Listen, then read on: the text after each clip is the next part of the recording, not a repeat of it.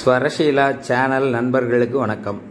இன்றைக்கி நம்ம முருகப்பெருமானின் மூன்றாவது படை வீடான பழனியை ஒரு ரவுண்ட் அடிச்சுட்டு வருவோம். வாங்க. வட திசையிலேருந்து வர்றவங்க வேடசந்தூர்லேருந்து ரைட் எடுத்துடலாம். தென் திசையிலேருந்து வர்றவங்க திண்டுக்கல்லேருந்து லெஃப்ட் எடுக்கணும். நாங்கள் விருது நகர்லேருந்து வர்றதுனால மதுரை வழியாக அந்த திண்டுக்கல் திண்டுக்கலுக்கு உள்ளே நுழையாமல் அந்த பைபாஸில் லெஃப்ட் எடுத்துருவோம்.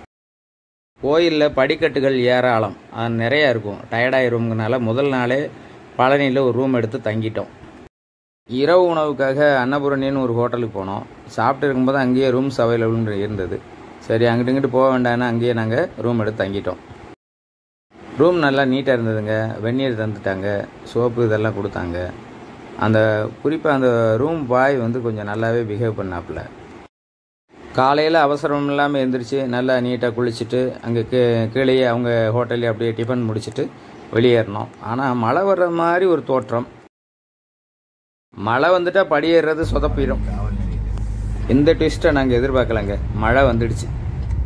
சரவணன் கூட சொன்னான் ரூமில் இருந்துட்டு அப்புறமா விட்டு மழை விட்ட அப்புறம் போமான்னு. நான் தான் வேண்டாம் போன்னு சொல்லிட்டேன். முருகப்பெருமான் நம்மளை அன்போடு வரவேற்கிறாருன்னு நினச்சிக்கிடுவோம் இந்தா பாருங்க சூலாயத்தை காட்டிட்டார்ல. பார்த்தீங்களா அது கூட மங்களா தான் தெரியுது. சூப்பரில்? மூன்றாம் படைவீடு தரிசனத்துக்கு முன்னாடி ஆவுடையார் கோயில்னு ஒரு இடத்துக்கு போகணுமா? அதுக்கப்புறம் நாயகி கோயில்னு ஒன்று இருக்குமா?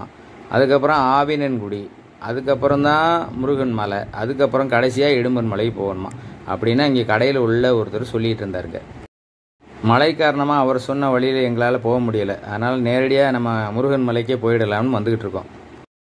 மாநகராட்சியில் இந்த சிங்கார சென்னை ஐ லவ் கோவை இப்படிலாம் எழுதி போடுவாங்கல்ல. அதே போல் இங்கே வருங்க. பழனியில் நம்ம பழனி அப்படின்னு எழுதி போட்டிருக்காங்க. மழை விட்டும் தூவானம் விடலை. ஆனால் மலை மேலே தண்டபாணி வாவான்னு கூப்பிட்றாரு. முதல்ல ரோப் காரில் போய் பிஞ்சில் இறங்கிடலாம் அப்படின்னு பிளான் பண்ணிட்டோம். அதனால் வண்டியை திருப்பி ரோப் கார் இருக்கிற ஏரியாவுக்கு போயிட்டுருக்கோம். அப்போது சரவணே முடி காணிக்கை கொடுக்கும் இடம்னு என்கிட்ட சொல்லிட்டு இருந்தேன். எனக்கு எந்த முடி இருக்குது கொடுக்கறதுக்கு? அப்போது தான் இந்த போர்டு என் கண்ணில் பட்டுச்சு. இடும்பன் குடில்கள். குவார்டர்ஸ்க்கு தான் இந்த பேர் வச்சுருக்காங்க. வித்தியாசமாக இருக்குங்களே? இப்போ கோயிலோட பின்பகுதி அதாவது ரோப்கார் ஏரியாவுக்கு வந்துட்டோம். இந்த ஏரியாவே சுத்தமாக பளிச்சுன்னு இருந்ததுங்க. இங்கே உள்ள கவுண்டரில் தான் டிக்கெட் வாங்கிட்டு உள்ளுக்குள்ளே கூடி போய் நின்று அந்த மேலே தெரியுது பார்த்தீங்களா அங்கேருந்து அப்படியே கீழேருந்து மேலே போகலாம் ரோப் காரில் இப்போ தான் எங்களுக்கு ஒரு சிக்கல் வந்தது. என்னென்னா மொபைல் ஃபோனை அங்கே நாட் அலவுடுன்னு சொல்லிட்டாங்க. முருகன் மலையை சுற்றி பல கவுண்டர்கள் இருக்குது அதாவது கைபேசி காப்பகம் அப்படின்னே வச்சுருக்காங்க. மொபைல் காக்கிறதுக்கு அஞ்சு ரூபா டிக்கெட்டு அதை வாங்கி வச்சுக்கிட்டு திருப்பி வந்து அதை கொடுத்து வாங்கிக்கிறலாம் மழை தூறிக்கிட்டே தான் இருந்தது. சரி நாம் ஒரு குதிரை வண்டியை ஓட்டி பார்ப்போம் அப்படின்னு ஒரு குதிரை வண்டியை ஓட்டி பார்த்தேன். நான் கார் ஓட்டினா பயந்துக்கிட்டு என் கூட வராத இந்த சீலை குதிரை வண்டி ஓட்டும்போது தாராளமாக உட்காந்து வராங்க. கோயில்களுக்கோ சுற்றுலாத்தலங்களுக்கோ போகும்போது இந்த மாதிரி விளையாட்டுகள் இருந்தால் அந்த ஈவெண்ட்ஸை அனுபவிச்சிட வேண்டியதான் குதிரை வண்டி பையன்ட்ட எவ்வளோப்பா சார்ஜுன்னு கேட்டேன். வாயிலா ஜீவனுக்கும் வாயுள்ள ஜீவனுக்கும் பார்த்து போட்டு கொடுங்கன்னு அடிச்சாம் பாருங்க ஒரு அடி. தமிழ். இதுதாங்க விஞ்ச் ஸ்டேஷன். அதாவது இந்த ரயில் சொல்கிறாங்கல்ல ரயில் ஏறி போகிறது இந்த இடம் கொஞ்சம் அந்த மழை பெஞ்சதுனாலே என்ன கொஞ்சம் சுத்தம் இல்லாமல் தான் இருந்துச்சு. அந்த விஞ்ச் போகிறது பார்த்தீங்களா நான் ஜூம் பண்ணி தான் எடுத்திருக்கேன். ஏன்னா தள்ளி இருந்தது. இந்த கோமாதா கோயிலுக்கு சொந்தமானதா ப்ரைவேட்டாக தெரியல. சரி அதையும் பிடிச்சு போடுவோம். இதில் பத்து ரூபா டிக்கெட்டு வழி ஐம்பது ரூபா டிக்கெட்டு வழின்னு இருக்குங்க. ரெண்டுக்கு என்ன வித்தியாசம்? ஒரே ரயிலில் தானே போக போகுது. சரி இந்த பக்கமாவது மொபைல் உபயோகிக்க விடுவாங்களானா? இல்லை இங்கேயே கொடுத்துட்டு போயிடணுமா அப்படி இல்லைன்னா அங்கே போய் பிடிங்கிட்டு அப்படியே திரும்பி திருப்பி அனுப்பி விட்ருவாங்கன்னு அந்த கவுண்டர் உள்ளாமா சொன்னாங்க. இந்த மொபைல் கொண்டு போகக்கூடாதுங்கிற சட்டத்திட்டம் இப்போ ஒரு பத்து நாளுக்கு முன்னாடி தான் போட்டாங்களாங்க. அதுக்கு முன்னாடியெல்லாம் அனுமதிச்சுட்டு தான் இருந்தாங்களாம். இப்போ பக்தர்களுக்கும் சுற்றி பார்க்க வந்தவங்களுக்கு என்ன சிக்கல்னா மொபைல் இங்கே ஒப்படைச்சிட்டு விஞ்சில் போயிடுறாங்க மேலே. அங்கேருந்து ரோப் காரில் இறங்கணும்னு வர்றவங்களுக்கு பிறகு ரோப் கார் இருக்க ஏரியாவிலேருந்து இந்த பக்கம் வரைக்கும் அவங்க ஒன்று நடந்து வரணும் அல்லது ஆட்டோ பிடிச்சி வரணும். இப்படி ஒரு சின்ன பிரச்சனை இருக்குது இந்த விஞ்சு மெதுவாக தான் ஏறி இறங்குது. இந்த சர்வீஸ் ஒரு நல்ல விஷயந்தான் ஏன்னா செவன் ஹண்ட்ரட் படிக்கட்டு எழுநூறு படிக்கட்டுலேயும் ஆட்கள் ஏறி இறங்குறதுக்கு கஷ்டப்படுவாங்க. சில இடங்கள்லாம் செங்குத்தாலாம் படி இருக்கும் திருப்பரங்குன்றம் மாதிரி இல்லாட்டாலும் இங்கேயும் ஒரு சரவண பொய்கை இருக்குது தான் இங்கே போன அனுமதி இல்லை. அதனால் அதை நம்ம படம் பிடிக்க முடியாமல் போயிடுச்சு. மழை விட்டுட்டாலும் இன்னும் வானம் பளிச்சுன்னு ஆகலை. அப்புறம் நாங்கள் இந்த அடிவாரம் போலீஸ் ஸ்டேஷன் உள்ள பகுதிக்கு வந்தோம். இதுதான் மெயின் ரோடு போல் இருக்குது இந்த பிரதான நுழைவாயில் அந்த தூரம் தூரத்தில் தெரியுதுல அங்கே தான் இருக்குது இதுதான் இந்த கவுண்டர் போல் இருக்குது இந்த வட வட மாநிலத்தவர்கள் என்னமோ கொட்டு மாதிரி வச்சு விற்றுக்கிட்டு இருக்காங்க. இது நல்ல வீதியாக இருக்குங்க இந்த ரோடு. அதாவது திருவிழா காலங்களெல்லாம் ஒரு குண்டூசி போடக்கூட இடம் இல்லாத அளவுக்கு கூட்டம் இருக்குமா. இந்த கைபேசி காப்பகம்ங்கிறது பல இடங்களில் வச்சுருக்காங்க. அறிவிப்புகள் தொடர்ந்து வந்துக்கிட்டே இருக்குது தமிழ் மலையாளம் அப்புறம் ஹிந்தி இங்கிலீஷு எல்லாத்துலேயும் சொல்லிக்கிட்டே இருக்காங்க. இப்போ தான் புதுசாக கொண்டு வந்திருக்காங்களாம் இந்த சட்டத்தை ஏன்னே தெரியல. அது பயனுள்ளதா இல்லையா அதெல்லாம் கேள்வி கிடையாது. சட்டம் வந்தால் அதை மதி மதித்து தான் ஆகணும் நம்ம. ஒரு ஓரமாக நின்று இந்த படிக்கட்டுகளையாவது எடுத்துடலாம் அப்படின்னு ட்ரை பண்ணி பார்த்தா வாய்ப்பே இல்லை. எண்பத்தி ஆறுகளில் நான் வேடசந்தூரில் வேலை செய்யும்போது இந்த படிக்கட்டில் குடு குடு குடு குடுன்னு மேலே ஓடிட்டு வந்துடுவேன் இது தாங்க யானை பாதைன்னு சொல்கிறது இப்போ சிமெண்ட்டுலாம் போட்டு வச்சுருக்காங்க. முன்னாடி மண்ணும் கல்லுமாக தான் இருந்தது இந்த பாதை. தூரத்துலேருந்தே அந்த படிக்கட்டுகள் உள்ள அந்த மண்டபங்களை பார்த்துங்க. இந்த வழியாக தான் அந்த படி போகுது. இதுதான் படி போகிற பாதை.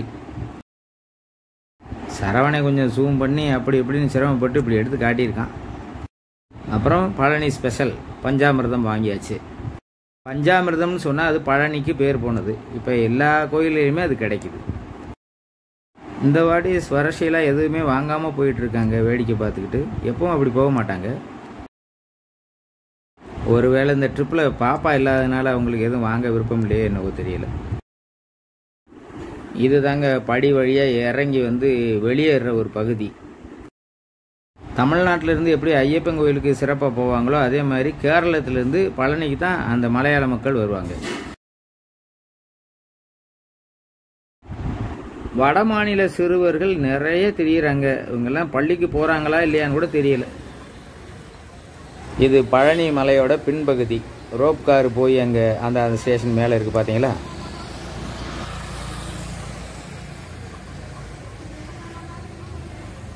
இப்போ நாம் இடும்பன் மலைக்கு வந்திருக்கோம். இதுதான் அந்த இடும்பன் கோவிலுக்கு போகக்கூடிய நுழைவு வாயில். முருகனை தரிசனம் பண்ணிட்டு வரவங்க இடும்பனையும் பார்த்துட்டு போவாங்கிறது ஐதீகம். படிக்கட்டுகள்லாம் மிரட்டலாக இருக்குது பிரமாதமாக இருக்குது ஆனால் ஆட்களை தான் காணும். இடும்பன் கோயில் மலை உச்சியில் இருக்குது ஆனால் இவங்க செருப்பு இங்கேயே கழட்டி போட்டு போங்கன்னு சொன்னாங்க. வெயில் நேரத்தில் எப்படி போட்டு போகிறது இந்த படியில் எப்படி மீசி போகிறதுன்னு தெரியல. சும்மா சொன்னாங்களா இருக்குன்னு நினைக்கிறேன். இங்கே ஒன்றும் பராமரிப்பு இருக்கிற மாதிரி தெரியல. இந்த போர்டு கூட பாருங்கள் பழசாகி கிடக்கு. அந்த கட்டடத்தை பார்த்தீங்களா? யாரும் இருக்கிறது மாதிரியும் தெரியல. ஆனால் அந்த படிக்கட்டுகள் அமைத்திருக்கிற அந்த விதமும் அந்த அகலமும் உண்மையிலேயே அட்ராக்டிவாக இருந்தது. கீழே இருந்து பார்க்கும்போதே அந்த படிகள் வந்து அப்படியே சூப்பராக இருக்குது மேலே போகிற வரைக்கும். செருப்பு இல்லை. அதனால் நான் வந்து மேலே இதுக்கு மேலே போகலை. கொஞ்சம் சிரமமாக இருந்துச்சு. இந்த இடும்பன் மலையிலேருந்து அந்த பக்கம் பார்த்தோம்னா பழனி மலை வந்து அழகாக தெரியும். இந்த மாதிரி நிறைய படிகள் இருந்துச்சுன்னா நீங்கள் ஏறுறதுக்கோ இறங்குறதுக்கோ இந்த மாதிரி நான் வரேன் பாருங்கள் இந்த கிராஸில் இந்த பக்கம் போயிட்டு அதுக்கப்புறம் அந்த பக்கம் போயிட்டு இப்படி இறங்கி வந்தீங்க ஏறி போனீங்கன்னா உங்களுக்கு எளிதாக இருக்கும்னு சொல்லுவாங்க. நான் எப்போவுமே அப்படி தான் பண்ணுவேன் எந்த படியில் ஏறினாலும். நாங்கள் பழனி மலை அடிவாரத்துலேருந்து ஊருக்குள்ளே கூடிய இடும்பன் கோயிலுக்கு வந்துட்டோம். ஆனால் மதுரை பக்கம் இருந்து வர்றவங்க அந்த பழனிக்கு உள்ளே போகாமல் லெஃப்ட் சைடு ஒரு பைபாஸ் இருக்கும். அது வழியே வந்தோம்னா இப்போ காட்சி இந்த இந்த வழி வழியாக தான் இடும்பன் கோயிலுக்கு போகணும். ஐதீகப்படி ஆவுடையார் நாயகி ஆவேனன்குடி பழனிமலை அப்புறமா இடும்பன் கோயில் அப்படி தான் பார்த்து வருவாங்களாம். காலையில் மழை பெஞ்சிட்டதுனால நம்ம ப்ரோக்ராமில் சேஞ்ச் எப்படி பார்த்தாலுமே பழனி மலையும் இடும்பன் மலையும் பார்த்தாச்சு. இப்போ நம்ம பழனி பைபாஸ் அதாவது உடுமல்பேட் போகிற அந்த ரோட்டில் போயிட்டுருக்கோம் அங்கே ஒரு சிறுவர் பூங்கா பெரிய அளவில் இருக்குது நாங்கள் உள்ளே போகலை நேரம் இல்லை அங்கேருந்து பார்த்தாலும் அந்த ரோப் கார் ஸ்டேஷன் தெரியும். அதாவது ஜூம் பண்ணி பார்த்தா தெரியும்.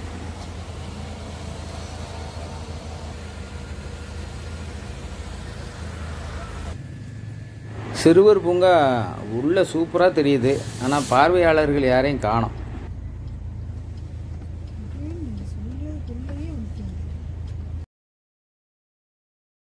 பாலதண்டாயுதபாணி ஆண்டியின் கோலம் அமர்ந்த படை வீடு இந்த பழனி என்பது எல்லாருக்கும் தெரியும். அதை வாழ்க்கையில் ஒரு முறையாவது நீங்கள் வந்து பார்த்துட்டு போனீங்கன்னா உங்களுக்கு நல்லது நடக்கும்னு சொல்கிறாங்க திருநெல்வேலி தூத்துக்குடி ராம்நாடு மாவட்டங்கள்லேருந்து நடந்து வர்ற பாத யாத்திரிகர்களுக்காகவே ஒரு சாலை ஓரமாக ஒரு சிறிய பாதை அமைச்சு வச்சுருந்தாங்க. அந்த பாதை இப்போ இருக்கா இல்லையான்னு கூட தெரியல. இந்த பால தண்டாயுதபாணியோடைய கதை நமக்கெல்லாம் ஒரு உத்வேகத்தை கொடுக்கும். தனியாக இருந்து ஜெயிக்க முடியும்னு காட்டுறது போலே இருக்கும். நாங்கள் இப்போ திண்டுக்கல் மதுரை ரோட்டில் போயிட்டுருக்கோம். அங்கே தெரிகிறது வந்து சிறுமலை. இந்த மலையில் மலை மேகம் தொட்டுக்கிட்டு இருக்கிறது. முருகனோட இடும்பன் கைகோர்த்துக்கிட்டு இருக்கிறது போல இருக்கா?